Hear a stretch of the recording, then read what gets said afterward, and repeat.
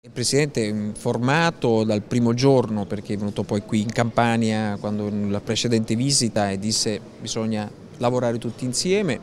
Quindi questo decreto legge c'è in parte il suo impegno, no? quindi il governo ha recepito l'istanza e la richiesta della Regione Campania, io dissi proprio in quella occasione ci vuole una norma speciale, ci vuole una legge speciale, che non significa commissariamenti, solo esercito, no, ma azioni, misure, risorse, per far che cosa? Per togliere il veleno dove è stato trovato, per completare tutti gli interventi. La Regione Campania del silenzio generale due anni fa combatteva da sola per trovare 300 milioni di euro per le bonifiche nel silenzio generale, in Europa combattendo, ce l'abbiamo fatta, quindi oggi abbiamo una parte delle risorse già in campo, se no oggi staremo a dire ma non si era fatto nulla, ma nel silenzio in quel momento. Oggi il tema è in prima pagina, quindi tutela della salute, controllo del prodotto in quell'area del territorio, che è l'1% del territorio della regione. Per il resto difendere i nostri prodotti, la bellezza della Campania verde, la Campania pulita, che ha un asset straordinario i prodotti nostri sono prodotti certificati, sono prodotti ipercontrollati più che nessuna che in altra parte d'Europa e dell'Italia, quindi il